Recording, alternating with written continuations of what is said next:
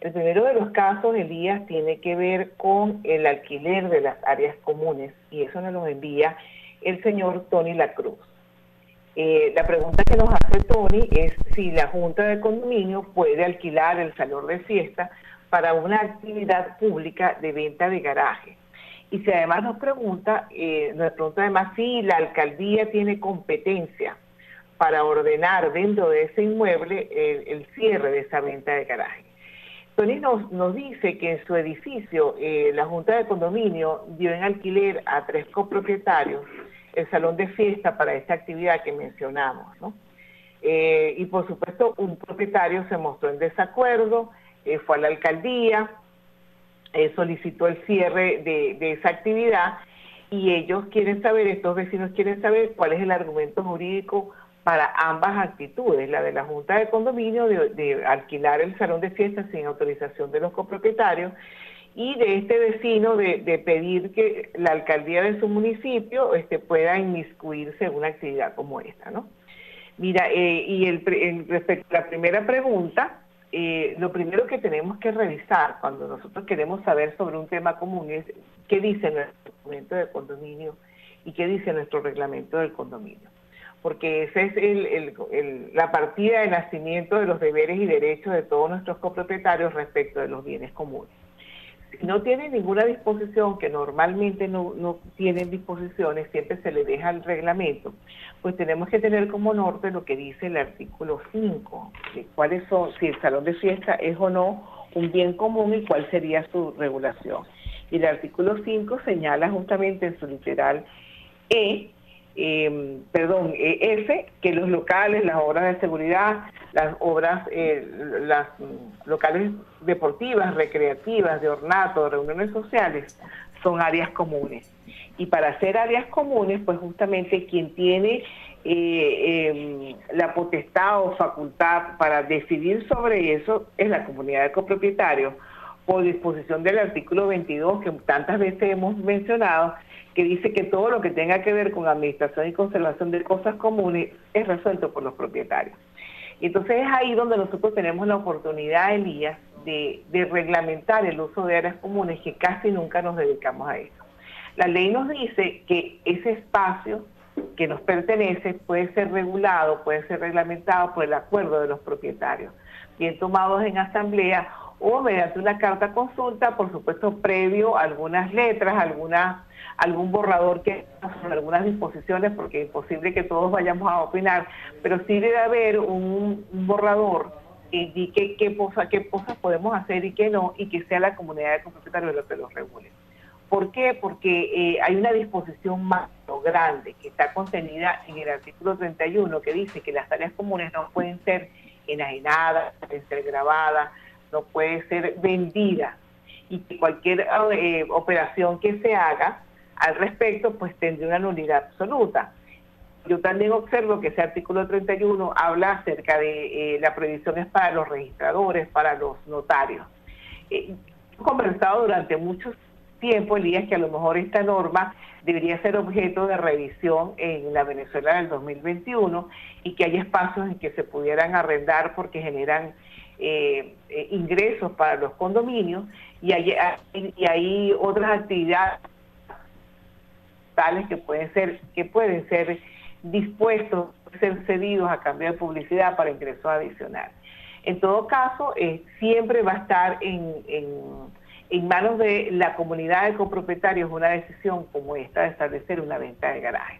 Ahora, mira, Elías, ¿cuál es mi, mi, mi percepción? Que si eso es una actividad de un solo día, así como una fiesta, y los organizadores dan las garantías de que no va a ocurrir nada, que se van a hacer eh, responsables eh, acerca de los visitantes, van a tener seguridad, y eso le va a generar un ingreso al condominio, pues yo particularmente este, creo que habría que considerarlo, porque no se le está dando un uso permanente, un alquiler permanente, sino es la celebración de una actividad. Y aquí entraría más bien el tema de la vigilancia sobre los visitantes, la, seguridad y en estos momentos el tema de la bioseguridad, que esa sería la razón por la cual yo no concedería una, un permiso como esto, ¿no? un tema más de, bioseguridad.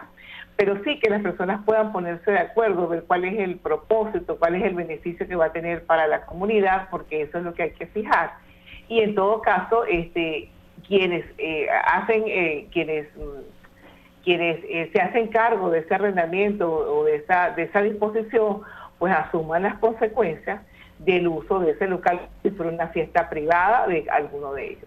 No sé si tú quieras agregar algo adicional, Elías. Sí, Tibaire, ¿y cómo, abordan esto quienes, eh, quienes acuerdan con empresas de publicidad eh, el colocar vallas publicitarias en, en la fachada exterior o con empresas de telefonía celular el el colocar antenas, ¿no? Que, son convenientes para la operación de ellos. Esto, ¿cómo, cómo debería llamarse? ¿Cómo debería eh, denominarse? Justamente ese era el tema, el tema sobre el que íbamos a grabar hoy, Tibaire, en mi condominio.com TV, ¿no? Porque es un tema fascinante y por allí puede haber unas fuentes de ingresos importantes para los condominios que son muy relevantes ahora, pero tenemos que darles el apropiado tratamiento desde el punto de vista legal. Claro. O sea, creo que no hay que ser tan absolutos y ver qué es lo que la ley permite bajo el amparo y la decisión de la comunidad de copropietarios para poder tener un ingreso adicional, ¿no? Siempre y cuando esta intervención no, no, no conlleve a la enajenación, a, la, a, hacer un contrato, por ejemplo, como hemos visto, eh, que alquilan las conserjerías para viviendas, entonces se instalan otros problemas mayores. O sea, todo, todo tiene que tener su límite y sobre todo revisar el, marco legal, ¿no? ¿Cuál es el marco legal que tenemos? Mira, Elías, bueno, si damos respuesta entonces a esta solicitud de Tony La Cruz eh, sobre eso, hay que conversar. Ah, bueno, fíjate. Ah, Tibaire, eh, eh, fíjate, esto, estos vecinos, ellos están solicitando, si yo soy copropietario,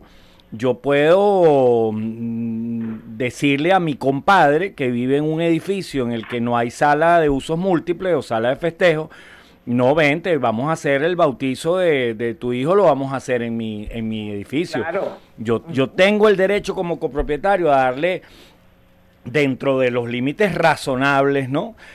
Un uso. Y si estas personas tienen un evento de generación de recursos económicos y tal, ahora ahí está la limitación, ajá, eh, va a venir gente de afuera va a haber ingreso de otras personas, cuál es el protocolo de bioseguridad, los protocolos de seguridad, seguridad física contra el delito. Esa persona cuando ya esté en la sala de fiesta puede colarse hacia el estacionamiento, cómo está nuestro sistema de vigilancia, de cámara. O sea, allí hay otras consideraciones, pero el derecho de un copropietario a utilizar eh, su, su, área común, esa área que, que, le pertenece a él también en un momento determinado, para, para otro tipo de actividades que no son las usuales, pues siempre que no contravengan ninguna norma, pues tal. Y si fuese un uso regular, que yo conozco eh, condominios que lo hacen,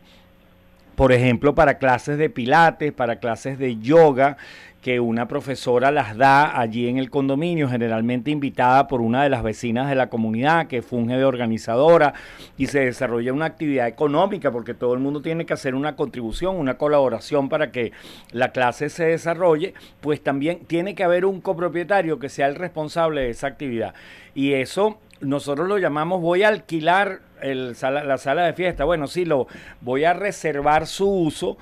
este, porque tengo derecho a beneficiarme de él, pero debe ser organizado, debe ser disciplinado, porque bueno, no, no vayamos a coincidir dos personas el mismo día a la misma hora en la sala de fiesta para, para organizar uno un bautizo y otro una primera comunión. No, de ninguna manera, tiene que haber una cierta eh, organización en, en, el ceder este, este uso, pero también hay un aporte económico que se usa para el mantenimiento de la sala de fiesta, como cuando se usa el dinero de la publicidad para el mantenimiento de la fachada o el dinero que ingresa por tener unas antenas, este se, se utiliza para el, el mantenimiento justamente de, la azotea y si pueden utilizarlo para otros eh, fines comunes, pues estupendo. Así es, así es. Y es bueno también aclarar, Elías, que, que mm, no, básicamente no es un pago de alquiler de la sala de fiesta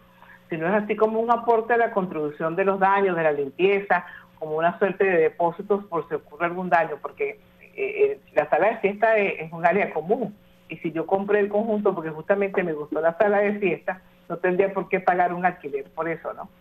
simplemente es como una contribución que, que toda la comunidad se pone de acuerdo para poder lograr, el, a lo mejor comprar los bombillos, mejorar el aspecto, hacer algunas cosas y tener un fondo para el, para el mantenimiento. A veces he visto una sala de fiesta que está muy deteriorada y este y una, una un, aporte como esto no vendría mal para mantenerla al día y, y que sea efectivo.